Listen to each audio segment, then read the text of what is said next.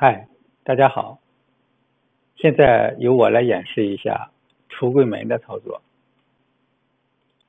在原材料区域输入数值，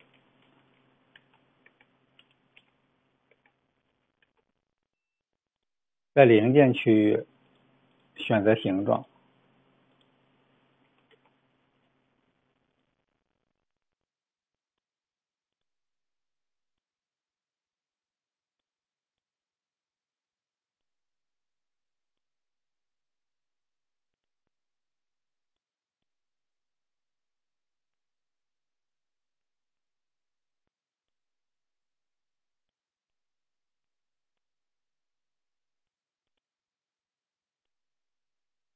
点击计算，开始。当显示出菜率的时候，就可以点击停止了。我们来看一下计算结果。这里一共生成了五个作业，这是作业一，作业二。三、四、五，黄色部分是余料。我们的排版非常的优秀，生成切割代码，代码已经生成，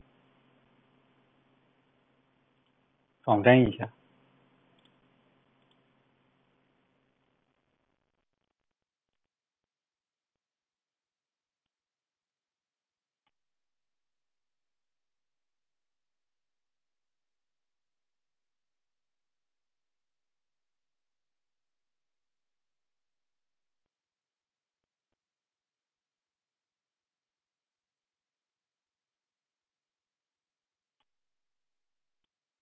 我们再来看一个吧。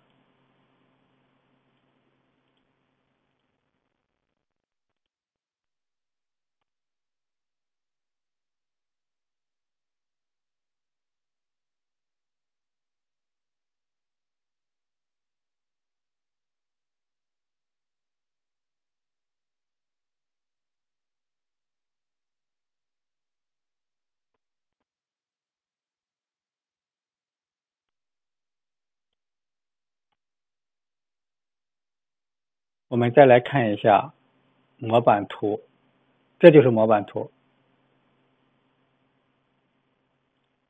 拱形橱柜门，这里的数值都是可以改变的。我来演示一下。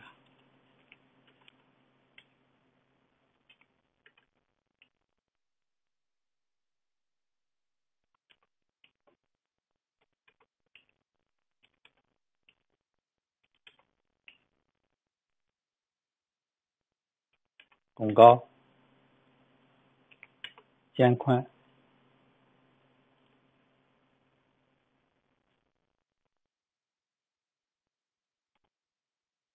弧形玻璃门，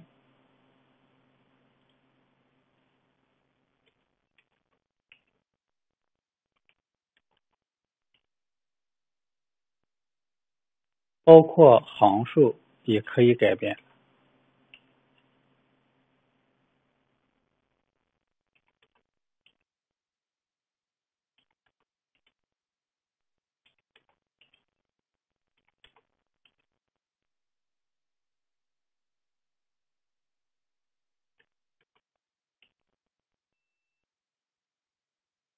这里还有很多的细节，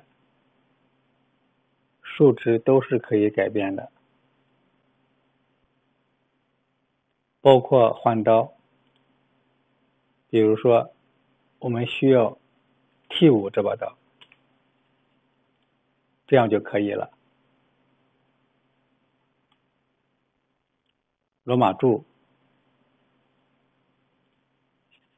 当宽度改变的时候。线条的数量也会随之变化。